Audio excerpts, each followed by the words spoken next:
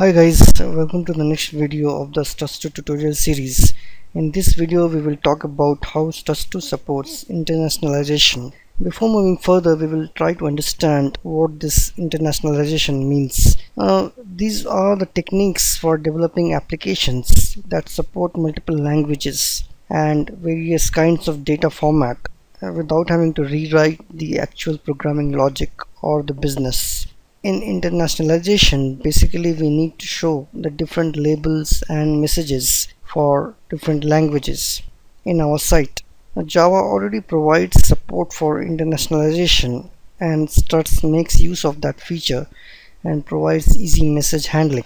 One thing to note is that even if we are developing a monolingual site we should take advantage of Struts2 message handling. Generally an internationalized application stores its labels and messages in the properties file for each of its locale. So what is a locale? A locale is a combination of the country code and the language code. Now, each properties file contains key value pairs. Now, keys are always strings and values could be strings or it could be result of any expression. We will have one properties file for each locale and each property file will have the same keys but values would be different. Now, these properties files are sometimes called resource bundle or message resources. There are several ways to access these message resources like by calling getText method from the action class or even we can call it from our JSP.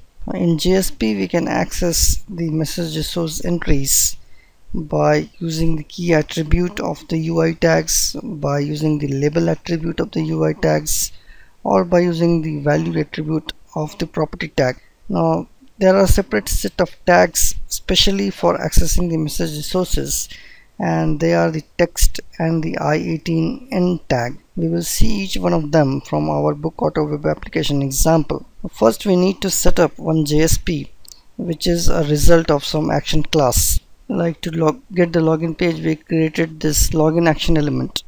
What we need to do is we need to create an action class for this which will just return success.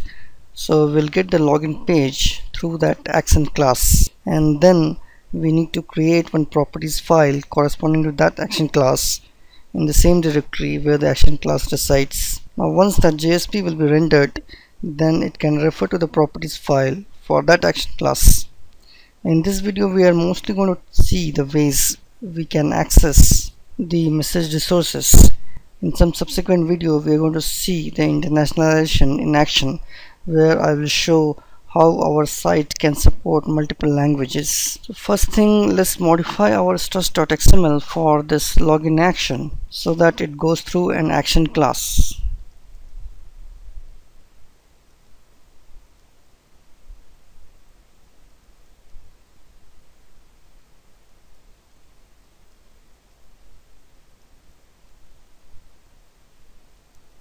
Let's name it as login action. Now let's create this login action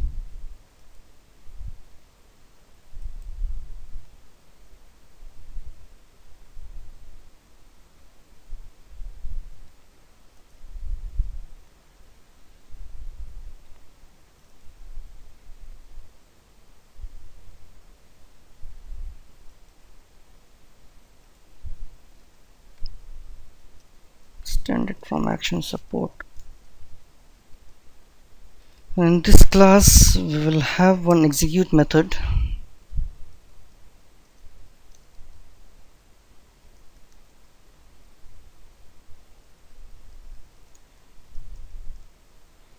We will return success from here. Okay now let's create one properties file in the same directory where we created this login action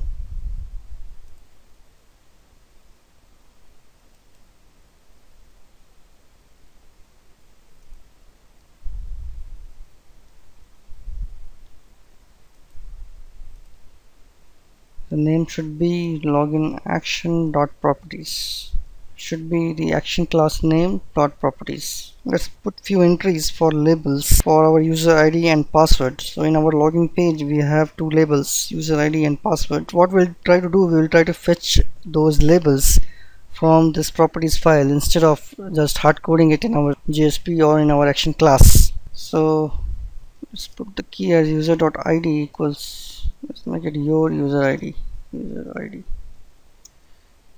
user dot password plus your password. Now the first thing which we are going to see is how to access those resources from our action class. So let's add some code to access the message resource entries from our action class. We will just do a sysout uh, of those entries. So let's see how to do that. Now struts has provided one get text method to access these resources. So inside the execute method we will call this method and and print out the resource from the resource bundle. Uh, I mean the login action properties so let's do a sysout inside the sysout print out the user id is user id label is let's call a get text. Requires a string here. So we'll just pass the key name. This one is the key. Just pass it here. Let's build this project and test it out. Let's run it on the server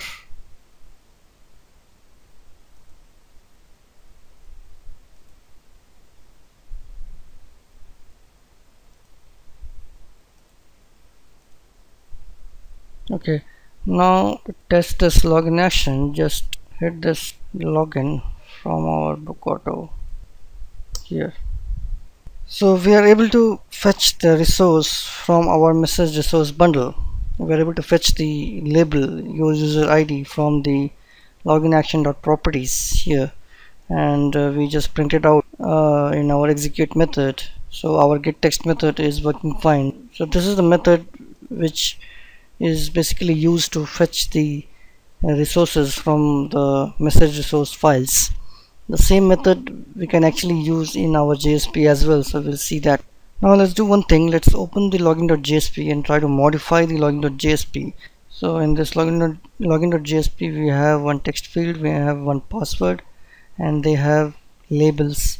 And these labels are hard-coded in this form what we'll do we'll try to fetch the lab these labels from the properties file instead of hard coding here. So what are the different ways we can access these resources from the JSP now what we have to do we have to call the same get text method from the label here label attribute here inside the percentage curly brace. Get text. It requires the key key we can give in the single quotes user dot id Similarly, the same thing we can do for password as well. We have to call the method from the percentage curly brace, get text and pass the key in the single quotes user dot password. Okay, now let's build this and test it out.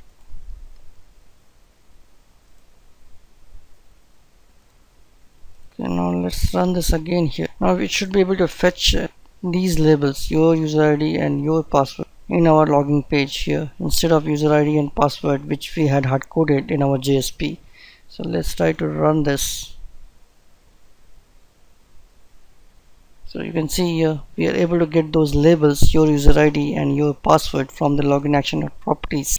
And we did that by calling the get text method from the percentage curly brace from our label attribute. We can also use the property tag to access the resource.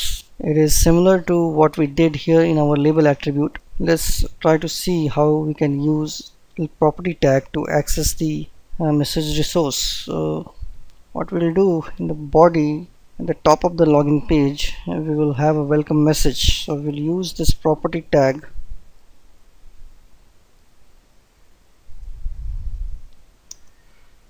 to get that welcome message from the properties file. So property value equals percentage curly brace get text.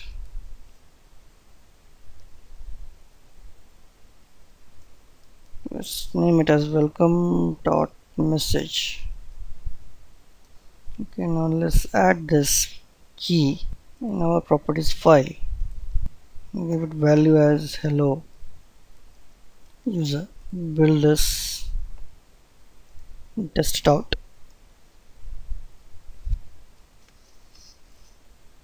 okay now let's run this here. Okay so we are able to get that welcome message as well from our properties file.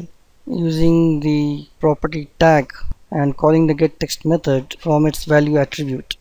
Okay now there are few more ways by which we can access uh, these message resources. Struts2 has provided few more tags especially to access these message resources and those are text tag and the i18n tag. So let's check the text tag first.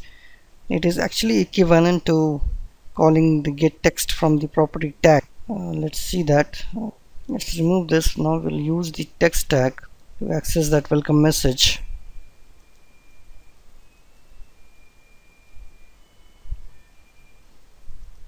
here we just need in the name attribute we just need to provide the key.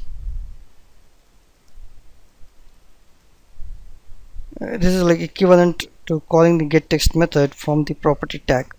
Let's see how it works. Let's make it welcome user this time. Let's run this. Test it out. Let's run this. Yeah. So we are able to get that welcome user using the text tag so this is one more way to access the message resource entries from our properties file. Now we can even pass some parameter to this text tag. Now suppose we have one key in properties file which requires some parameter. So suppose instead of hard coding like this we'll have some parameter like this so this requires some parameter here and that parameter needs to be passed from our text tag so we can pass some parameter here and that parameter will be passed in this properties file and this thing will be replaced by the parameter which we passed from our text tag so let's see how to do that. Let's move this here and then inside this we can have something called as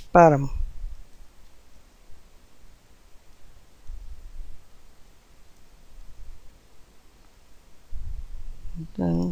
let's put it as guest. So now what what it will do it will fetch this welcome dot message and then in this placeholder it will pass this parameter and replace this with, with the guest. So we'll, we're going to get something like welcome guest. Okay let's see. Let's test this out. Build a project. Okay run this. Okay now you can see that we are getting welcome guests so from our text tag we passed this parameter guest and this replaced this placeholder here and it printed out welcome guest. Now here in the parameter we can even pass some dynamic values. So instead of just hard coding as guest what we can do inside the parameter we can uh, try to access some some field from our action class. Like as property value equals visitor. Okay now this visitor field should be present in this login action class. And then whatever value will be there in that field same value will be passed here in this text tag. And it will replace this placeholder and accordingly we'll get the message. So I'm not going to test uh, that thing you guys can go ahead and try that for now. Next thing is to check the i18n tag. Now i18n tag is used to provide some other resource bundle. So using i18n tag we can actually override the default properties file which we are using right now. We can actually give some other resource name as well using the i18n tag. So let's see how we can use the i18n tag to access some other resource properties file instead of the default login action properties. Let's have one more tag here. I18 and in the name attribute we need to give the name of the resource bundle which we want to access. We can give something like this com slash book auto slash actions slash custom now the thing to note here is that we need not provide dot properties extension here in this name attribute. Just give the name of the file without the dot properties extension here. But we have to give the full path of the file. Now let's create this custom properties file.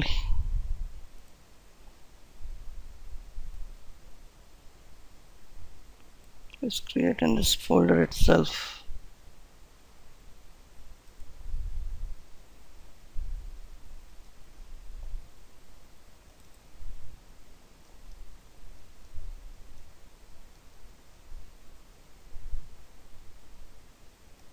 let's create an entry like custom dot message. Equals welcome user.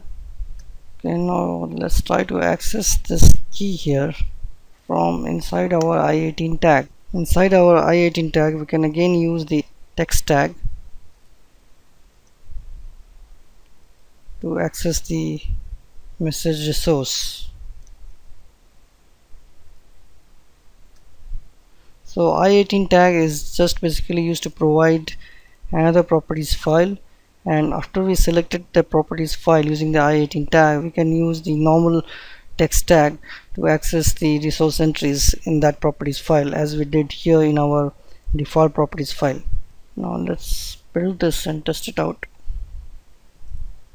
Okay now let's run this